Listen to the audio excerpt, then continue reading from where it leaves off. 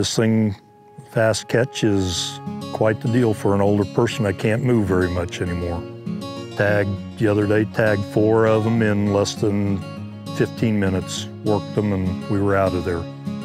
I used to never band my calves because I was worried about mom breathing down my neck.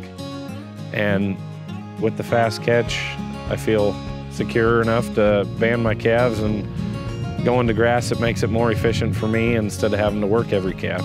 Most of the time, you never have to worry about a cow taking you, but there is, you never know, and when they're when they're worked up in the heat of the moment, and uh, most most of them aren't crazy, but everybody's got that one.